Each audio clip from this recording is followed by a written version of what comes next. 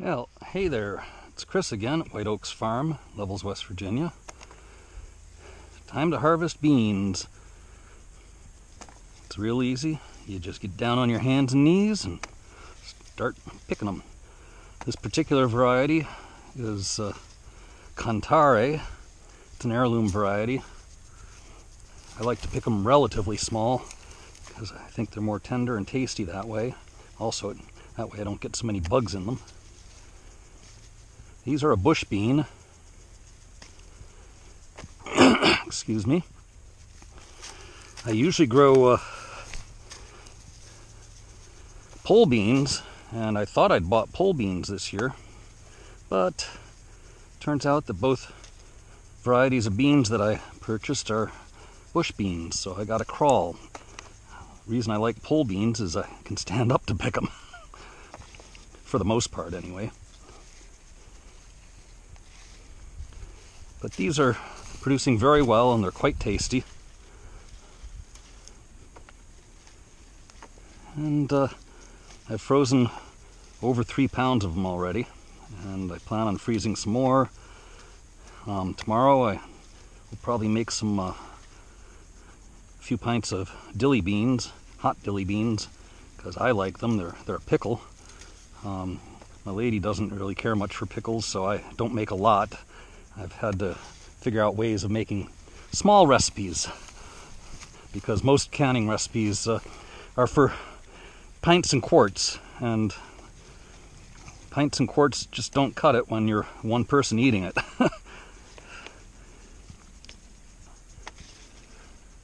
you can see how productive these are, and these are, like I said, I'm picking them small because that's the way I like them.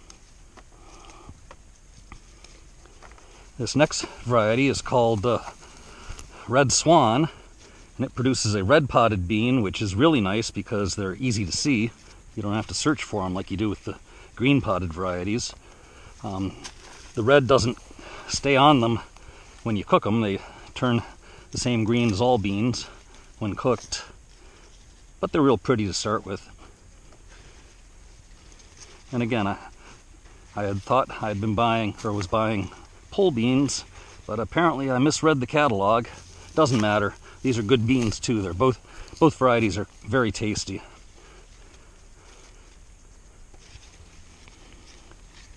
Anyways, you don't really want to watch me pick all these beans. I'll cut back in when uh, I'm done and have go in to process them and weigh them. Bye-bye. Hey there, I'm back. This is today's take of beans. I'd guesstimate someplace around a pound once I get them processed.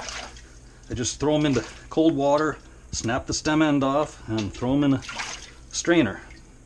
And that's about it. Takes a little while. I get bored standing here, but uh, it goes quickly, actually. These um, red swan beans are so, somewhat clammy or sticky, um, and so sometimes I have to rinse them more than once. But I'll process these and then I'll start a pot of water. Well, actually, I'm going to start a pot of water um, now so that it's ready to um, blanch them when I get done with snapping them. So, anyways, I'll be back in a little while. Bye bye.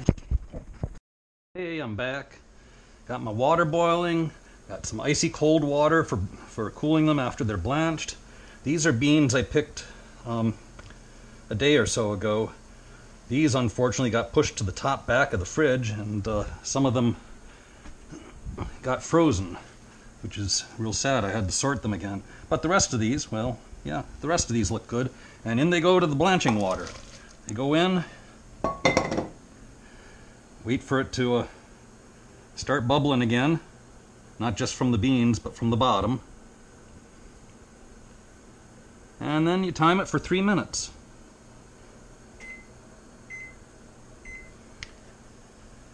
After three minutes, I'll scoop them out into the cold water to stop the, the uh, blanching process. And then I'll put them in a colander in the sink to drain, and I'll do the next batch. The ones I picked today, I'm going to use tomorrow to make those dilly beans I talked about. So, anyways, I'm signing off. I'll maybe I'll show you how I package them. Bye bye.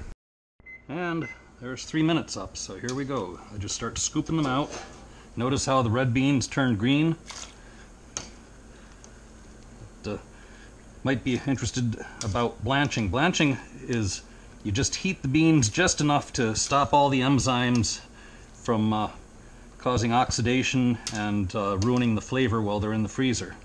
Um, and then you want to stop the cooking because you don't want to fully cook the beans. You just want them to be uh, um, have those enzymes that are in the beans denatured. And as soon as it comes back to a rolling boil, which it's almost at now, I'll add the last of these beans and uh, get them blanching. That looks like a good boil. In you go, beans. And we'll see you in three. And another batch. Processed, ready to go into the uh, cold water.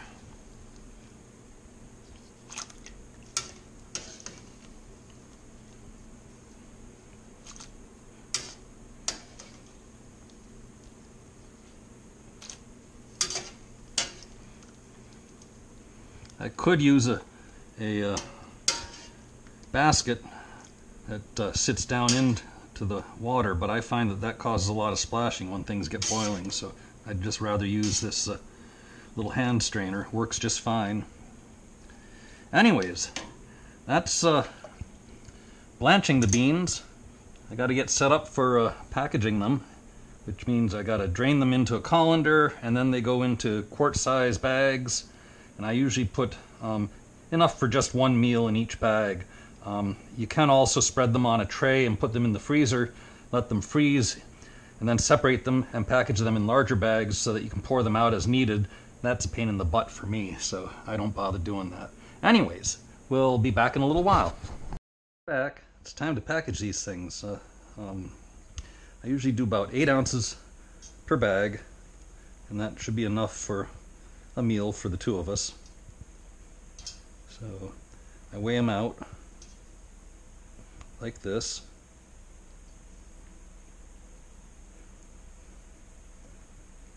You don't have to be precise, but why not? okay, so then they go into, these are quart, quart Ziplocs, freezer bags.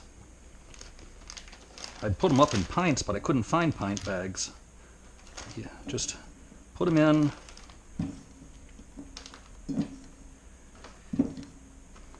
Shake them down to the bottom. and then I take this plastic tube I have and I zip it closed against the tube and suck out all the air. Pull the tube out as I'm sucking, and there's a bag of beans for uh, the freezer. And I'll just repeat, repeat, repeat till the beans are packaged up. And uh, sometimes I label them, sometimes I don't. Pr it's pretty obvious what they are. Anyways, that's how I pick, blanch, and uh, package up my beans. Rooster crowing. Tomorrow, maybe I'll do a thing on uh, on making dilly beans. Anyways, it's Kris at White Oaks Farm. Take care and be well. Bye bye.